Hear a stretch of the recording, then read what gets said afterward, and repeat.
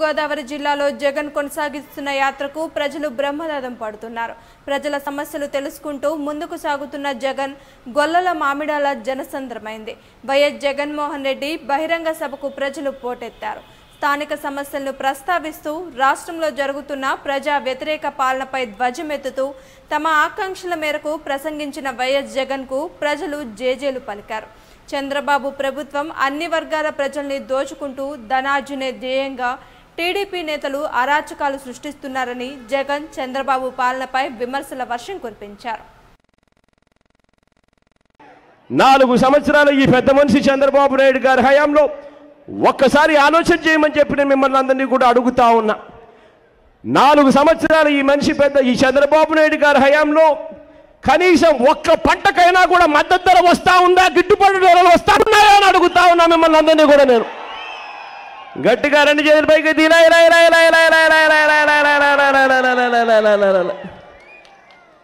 ఈ పెద్ద మనిషి ముఖ్యమంత్రి అయిన తర్వాత రైతన్నలకు గిట్టుబాటు ధరలు రాని పరిస్థితి కారణం ఏమిటి అనంటే ఈ మనిషే మన కర్మ కొద్ది హెరిటేజ్ షాప్ అని చెప్పి హెరిటేజ్ షాపులని ఎక్కడ పడితే అక్కడ పెట్టాడు మన రాష్ట్రమే కాకుండా చుట్టుపక్కల రాష్ట్రాల్లో అంతా హెరిటేజ్ షాపులు పెట్టారు ఆ హెరిటేజ్ షాపుల్లో రైతుల దగ్గర నుంచి తక్కువ రేటు కొనుగోలు చేస్తారు.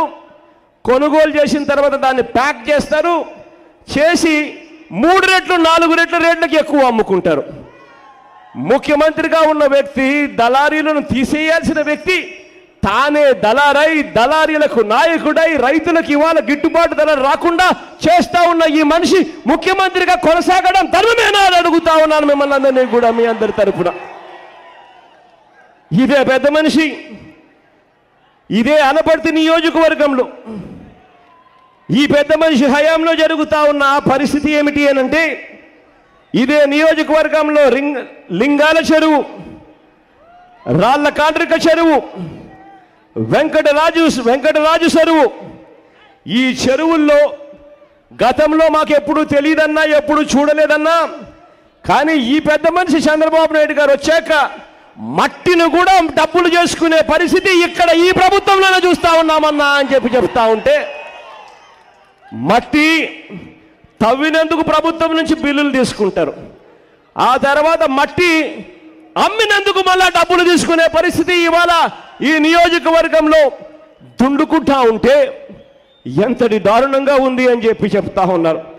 చివరికి ఇక్కడి నుంచి మట్టి చుట్టుపక్కల ప్రాంతాలే కాకుండా నేరుగా రావులపాలెం అమలాపురం కూడా పోతా ఉంది అని అంటే ఎంతటి దారుణంగా ఈ మిట్టి ఈ మట్టమ్మే కార్యక్రమం జరుగుతూ ఉంది అన్నదానికి నిదర్శనం.